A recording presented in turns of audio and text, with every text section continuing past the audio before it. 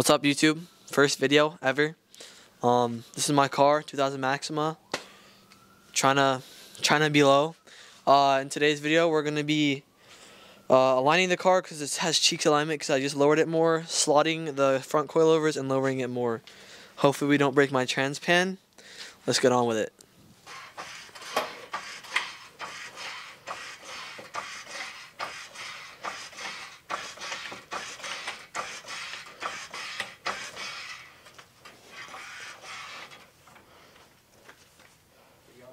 Huh? Yo! Yo, come here. I feel like it's buckling my fender though. Is this gonna buckle my fender? No, we're good, we're good. Guys, I don't know if you saw that. Make friends with neighbors. Wave at them at all times. You saw I tried to hide the jack, the HOA. Three notices, and we've been fined for working on our car in the driveway. Look at the setup, bro. We have to block this out, and look at all the cars that are around us trying to hide it all. We can't be caught.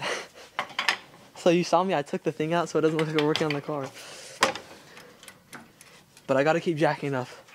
Now we have the side raised up, and this is a little off the ground. We can start taking the wheels off, and uh, start getting aligned. I don't know if we're gonna, I think we're gonna align it first and then slot it next. So, stay tuned. Well, not good news, guys. Um, there's scrape marks on my trans pan. Um, it's not bad. It's like one scrape. I have an idea of when I did it. Um, there's a bunch of. This is almost wear down to making a hole in it. This is the I don't know if you guys can see the, all the dents in this, but this is, I don't even know what this is, bro. It's some part of my exhaust. Uh, my frame scrapes a lot. I'm not even sure how I hit my trans. Um, it looks like a minor scrape of the edge. Oh. Oh my gosh. I'm retarded. There's like I'm almost scraped through my trans. I'm dead serious. Uh, so, after further review, it's not terrible. I'll show you guys. Um, so, I don't know if you guys can see in here, but that's my bumper all this is my bumper. And if we go down further, you see right there, that's my trans. As you see, like right where it's focused on, that's where I'm scraping. Luckily the metal is very thick and like you can see where I, that's my frame. That's, I lay frame all the time. But we're not sure if that point is lower than this trans where it's scraping right there. So after we found that, I don't think we're gonna lower it in the front anymore. We're just gonna do an alignment, but we're still gonna slot it, which should raise the car a little bit, which means we might lower it a little bit more. But we'll know after we do the alignment and slot it. So, yeah, that's something that we have to keep in mind, is that I'm scraping my trans. On this car, the oil pan is not even a concern. So I'll show you the oil pan. The oil pan right there the black box right there. And it's like tucked under like my exhaust, my trans pan, my frame, everything. So that's nothing to worry about. Um, my axles should be perfectly fine with the camber because I literally just replaced them. Um, because I broke both of them lowering it. But that's where we're at, and then we're gonna start. We're gonna just gonna start the alignment right now. All right, so we're just gonna take the wheel off, obviously. Um, we just got this. Very nice impact. Oh my goodness. Uh, buy one get one free deal at uh, Home Depot. Or buy batteries, get a tool free. So, yeah, we're gonna take the wheel off. And inspect to see if I have any damage.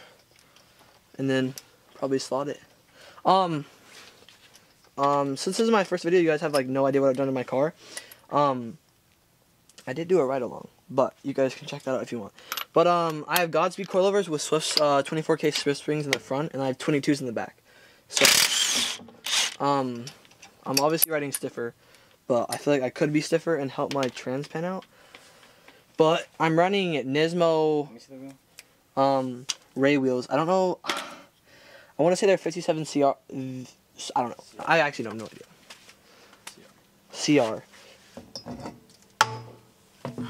Um, you see the camber though, low key.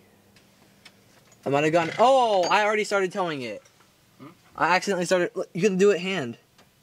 We don't have to align it anymore, cause if you see, these bushings are cooked. Okay, so one thing you know, you guys don't know, but when I accelerate, my car shakes, and we all we thought it because we was the alignment it was really bad, because both of the wheels are toed out, um, this way. So we thought it just like was uneven, but looking at the bushing, like, if it accelerates, that's obviously gonna shake, which would shake the wheel. So watch. I literally, I wasn't even like doing anything. Like I literally just went to put this on and move it, and I went like this. Like I'm not even moving anything else. That's also shaking back here, which is like. It would obviously shake when I move the car. So. I think all we're gonna do today is slot it. So I'm gonna have to order new um, toe arms. Is that what it's called?